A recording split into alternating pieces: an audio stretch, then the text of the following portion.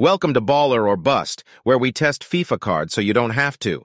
Today, we've got this squad with Shapeshifters icon Frank Rijkaard. We acquired Frankie Boy on the market for 290,000 coins.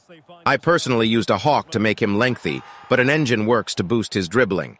Pace-wise, he's quick. Lengthy makes for some great races against CBs. His shooting was insanely good. With a hawk, he's got 99 everything besides volleys. He bangs anything and everything inside the box. His four-star weak foot is decent too. His positioning is elite as well. His AI loves to check to the ball in open space when in the box, allowing for him to have room to turn and shoot. His check to movements and his insane physicality are a lethal combo. U7 by code Zade 6% off?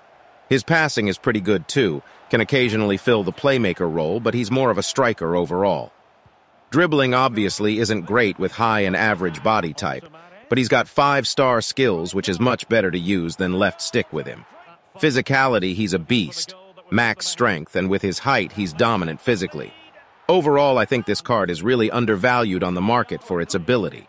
He's a big striker that can finish so many chances, but has insanely good off-the-ball movement and five-star skills. If you know how to use him, he's very, very good. W card from EA.